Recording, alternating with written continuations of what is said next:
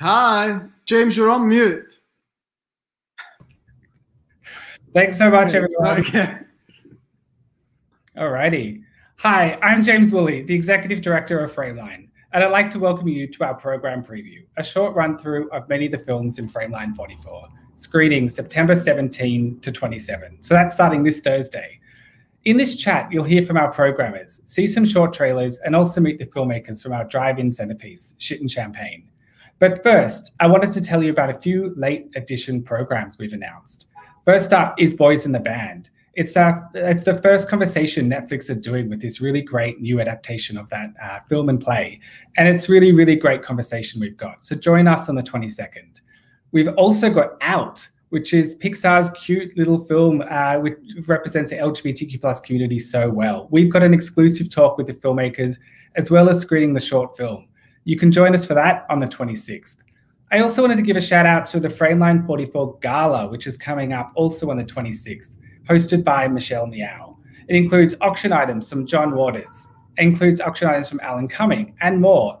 You can bid from those items on from Thursday, and the live gala itself will take place on the 26th to help support Frameline through this wild and crazy year. And I'd like you to hear from all of our programmers in this show. But first, let's sit back and get in the fun times mood. D'Arcy Drollinger from Shit and Champagne, but also from Frameline's usual launch venue, Oasis, is going to make us a delicious cocktail.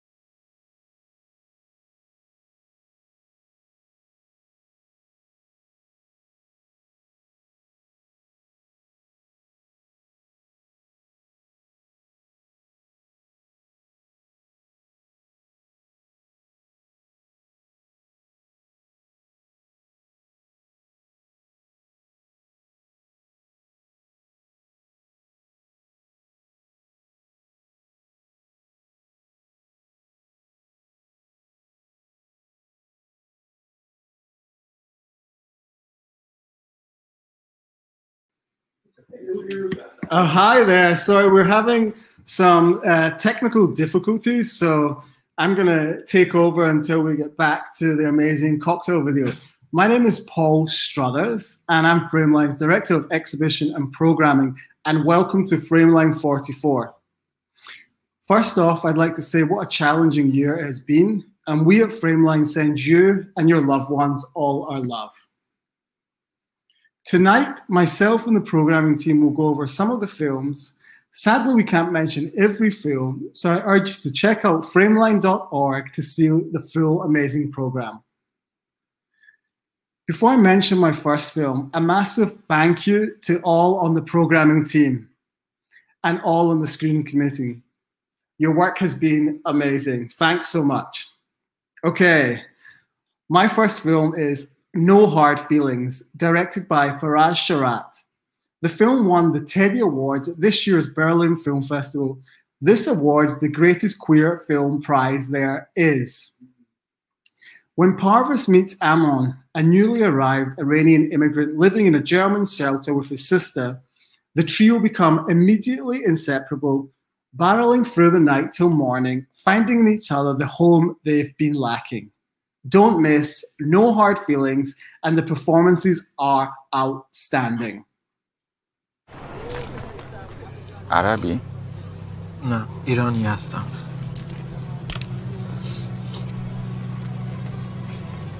ما اینجا زیادیم ازش خوشت میاد؟ نه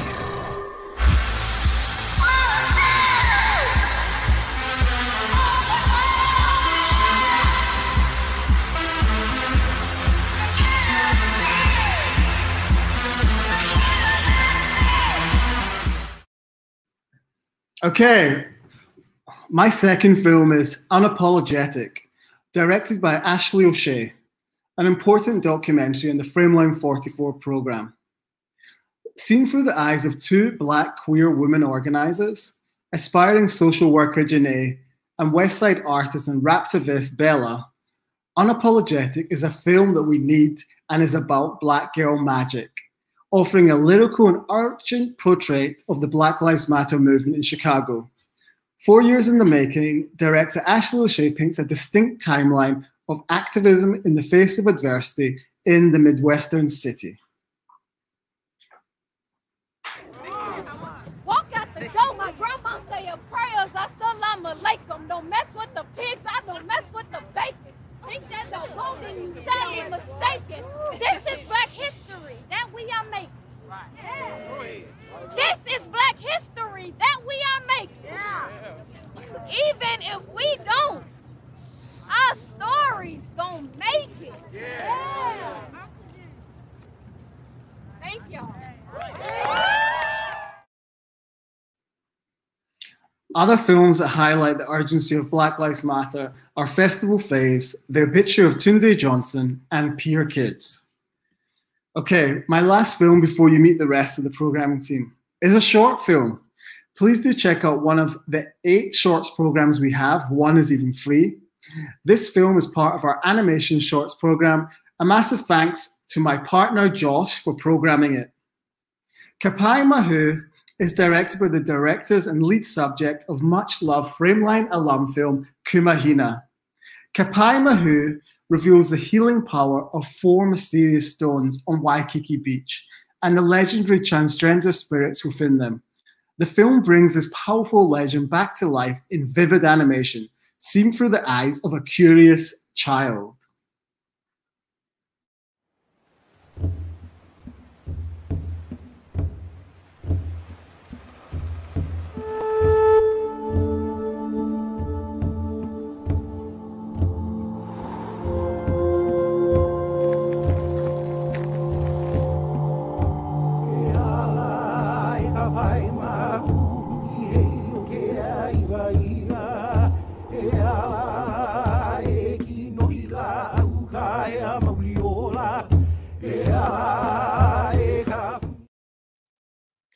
Thanks, Paul, for sharing those clips. My name is Dominique O'Neill, and I'm the Programming and Hospitality Manager for Frameline 44.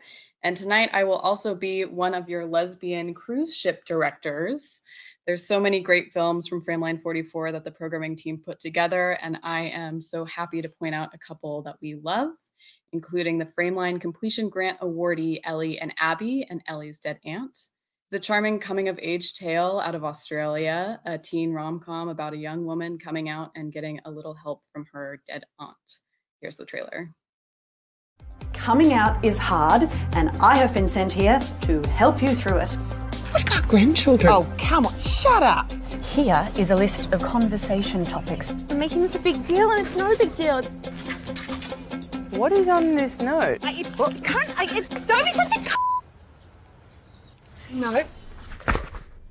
I'm putting it out into the universe that I did not just like a post from six months ago.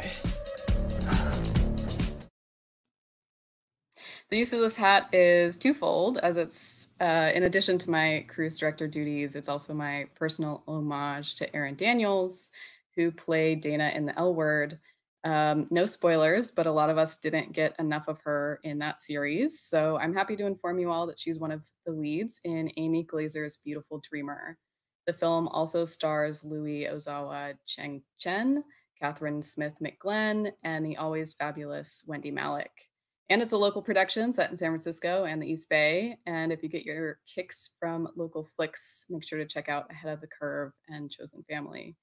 Uh, but for now, here's the trailer for Beautiful Dreamer and enjoy. We're pregnant. Oh my God, that's great! Congratulations. Thank you. How far along? 32 weeks. Wait, eight months? Which is the other thing, we got a surrogate. I, I kissed your girlfriend. Excuse me? It just happened, and I feel like this is the best time to tell you. I knew you wouldn't tell her. You knew? I'm just here to do this job. I'm not anything else. Hello, Internet audience. My name is Sam Berliner, and I'm one of the programmers with Frameline 44. I'm here to tell you about two phenomenal transgender films that we have at the festival this year. Uh, the first film is Rurangi. It's New Zealand's first transgender drama series turned feature film. It's about a F2M activist who returns home to his small town after 10 years away and realizes he's bitten off a little more than he can chew with a gorgeous cast and a dedication by the entire filmmaking team to the hashtag by us and about us. The team has trans and indigenous people in front of and behind the camera. And that means that they're mentoring not only about filmmaking, but also about gender. And the authenticity is palpable. Check out the trailer. I think I get it. Like, gender, it's complicated. Me, I'm Kaz now. Holy fuck! Holy shit! We're never exactly girly. It's me. Yeah, nah. But I mean, your mum tried. This your mum. You tell her. That's what I liked about you. Or one of the things. Uh, the second film that I'm going to talk about is called Alice Jr. It's a vibrant coming of age film pr- from Brazil that fiercely turns trans tropes on their head with a dash of sparkles and a pinch of superpowers. When her dad is transferred for work, Alice is pulled out of her social world and plopped down in a small rural town that is less than understanding about her being trans. Starting with just a handful of friends, Alice overcomes the negative trans tropes that are thrown at her in the most colorful, unique ways. She's almost like her own superhero. Check it out.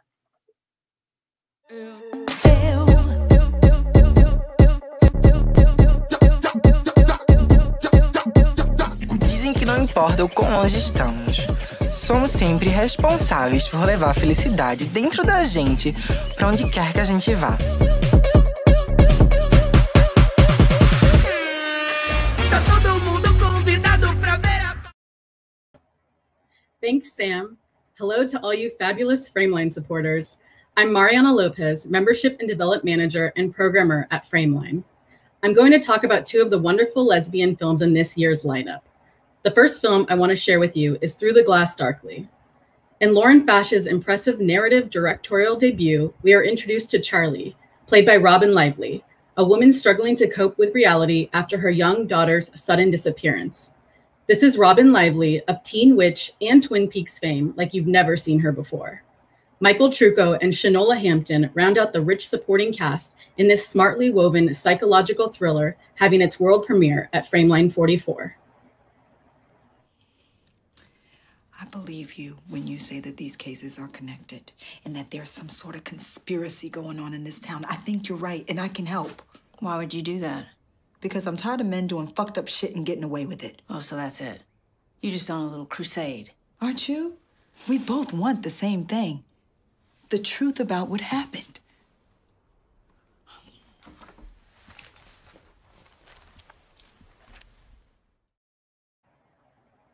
My second highlight is the sweet coming of age German film Cocoon. Shy, 14 year old Nora is about to have a summer that will change her life. Preferring the company of her caterpillar collection and her own internal world, Nora's comfort zone is tested when tomboy Romy takes an interest in her. Premiering earlier this year at the Berlin International Film Festival, Leonie Krippendorff's delightfully bittersweet film set in the sweltering heat of Berlin takes us along on Nora's journey from naive child to older and wiser young adult. This is Cocoon. Aufplätze, fertig, los! Ich finde andere Mädchen manchmal so schön. Ich finde es auch schön, wenn ich den Körper von einem anderen Mädchen spüre. Du bist 14, Nora. Da hat man so viele unterschiedliche Gefühle. Sie ist die Neue aus der Nachbarsklasse. Die heißt Romi oder so.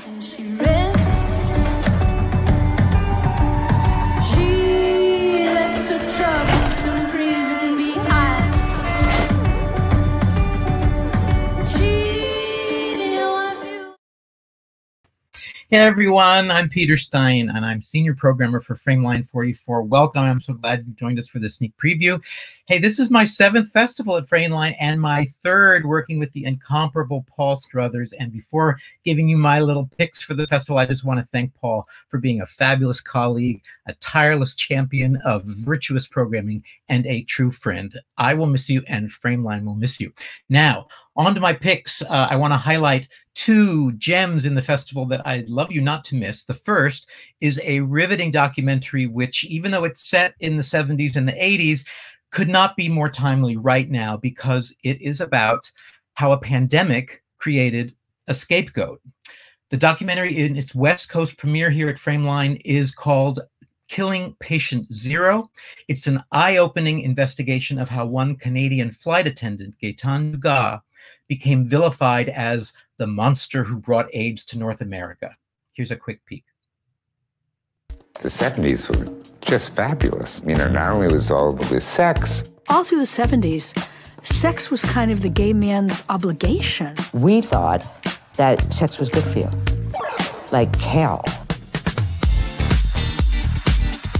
I got very clearly, I think, that uh, Gaetan liked having encounters that were no responsibility. Gaetan actually told me that. He had a project of having sex with a different man every night. You know, it's very easy to fall into the hedonistic side because it's intoxicating, but there was a price to pay, I think, for that.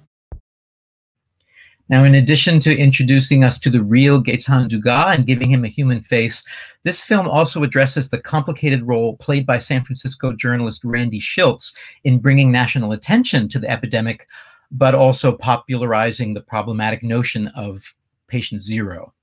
Now, onto a much different note, the sexiest and most inventive drama of the festival has to be Dry Wind, a wild ride from Brazil that takes us inside the fantasy world and the real life love troubles of Sandro, a factory worker with a vivid imagination. I like to call it uh, The Secret Life of Walter Mitty meets Tom of Finland. Have a look. Você conhece um homem chamado Ricardo Cardoso.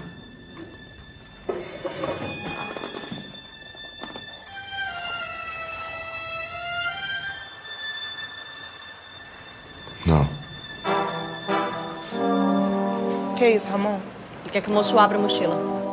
Sabe que é controlar o Michael demais, sabe? Quem que ele sai, aonde ele vai.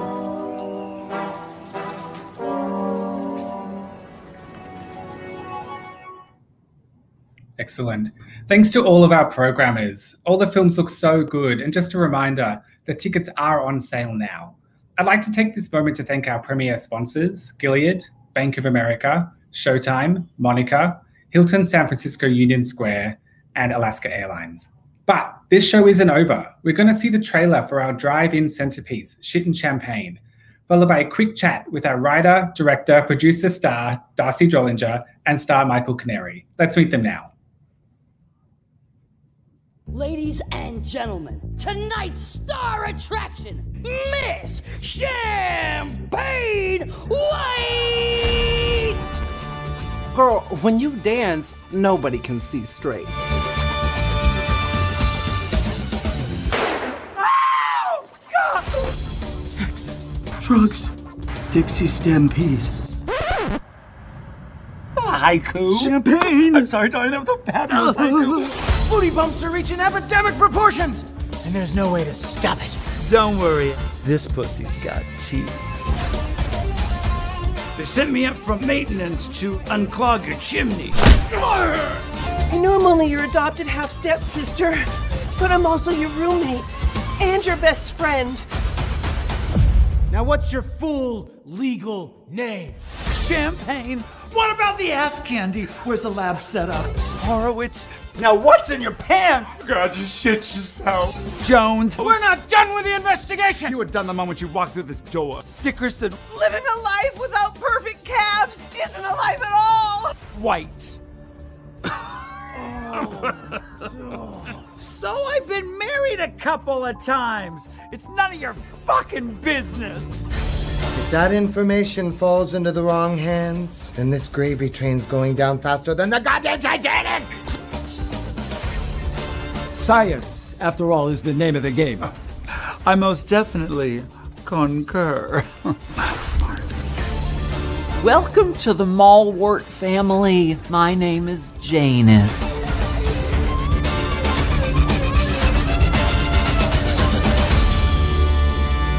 But it's just some lousy stripper. Who knows what could happen? Did you? Hi, everybody. Hi, everyone. Um, I'm D'Arcy. lousy stripper. Yeah, did you just call me a lousy I stripper? I'm D'Arcy Drollinger, and um, this is Manuel Canary, and we're here on the stage at Oasis, and we're yes, cheers, Cheers to Frame Um, Line. mm. Actually, we're so excited to be part of, of Frameline this year, and super excited to be at a drive-in movie theater. It's uh, sort of appropriate, don't you think, I for mean, it's a perfect- 70s perfect. movie?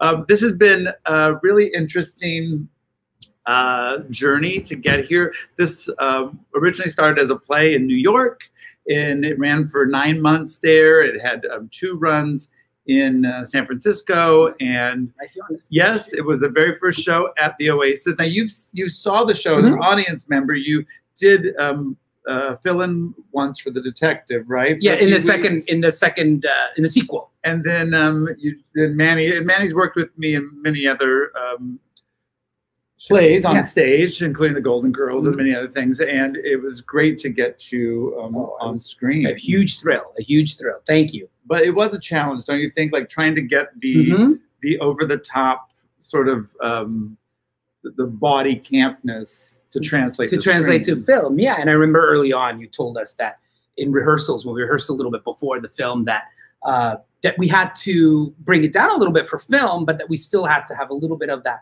like he's mentioned, Mel Brooks kind of style to it. So it was kind of a, a fine line. It, it was, it Mhm. was, and I, I remember, I remember, um, I think maybe it was the third or fourth day.